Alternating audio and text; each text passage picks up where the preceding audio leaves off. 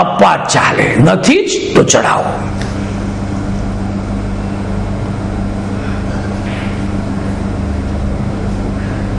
ભગવાનને દક્ષિણા મૂકવી જોઈએ. ભગવાનને ઋતુફળ આપવું જોઈએ. ભગવાનને જાતે બનાવેલું પાનનું બીડું આપવું પડે.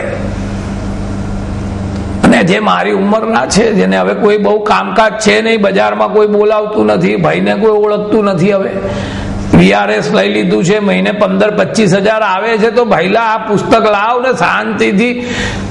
સવારની પ્રાર્થનાઓ બહુ સુંદર આપી છે આમાં. પુણ્ય શ્લોકો નલો રાજા, પુણ્ય શ્લોકો જનાર્દન, પુણ્ય શ્લોકા ચ વૈદેહી, પુણ્ય શ્લોકો યુધિષ્ઠર. ત્યારથી શરૂ થાય છે. સુંદર પ્રાર્થના છે સવારની. સવારે ઉઠો તમે, બેઠા થાવ ખાટલામાં. એમને બેઠા નથી થવાનું. બેઠા થાવ ત્યારે શ્લોક બોલવાના છે બે. કરાગ્રે વસ્તે લક્ષ્મી, કર મધ્ય સરસ્વતી, કર મૂલે સ્થિતો બ્રહ્મા, પ્રભાતે કર દર્શનમ. અને પૃથ્વી માની માફી માંગવાની છે. ખાટલા પરથી પગ નીચે મૂકતા પહેલા. સમુદ્ર વસને દેવી, પર્વતો સ્તન મંડિતા, વિષ્ણુ પત્ની નમસ્તુભેમ સમસ્વ પાદ સ્પર્શમાં સમુદ્ર રૂપી વસ્ત્રો અને પર્વત રૂપી સ્તનોથી સુશોભિત. હે માં, હે વિષ્ણુ પત્ની હું આપને નમસ્કાર કરું છું અને આપને પર પગ મૂકીને ચાલીશ એ માટે મને ક્ષમા કરજો.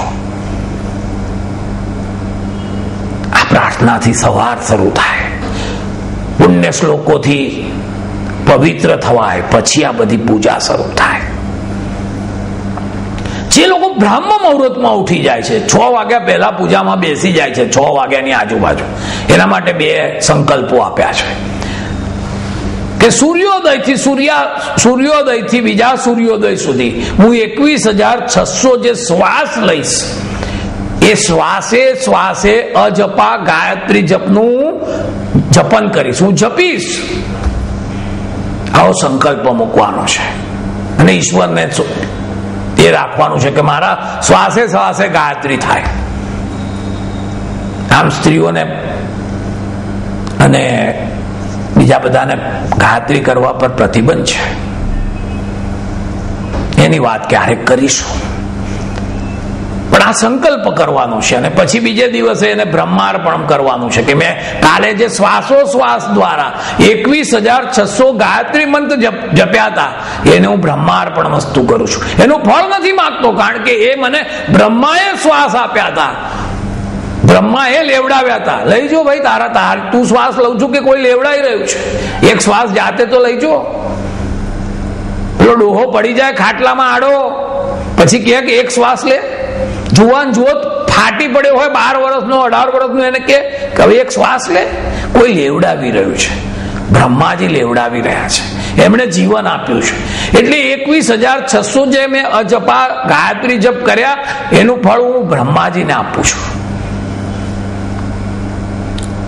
સમગ્ર પૃથ્વીનું સંચાલન કરવા માટે બ્રહ્માજીને પણ શક્તિની જરૂર છે અને તમે આપો છો.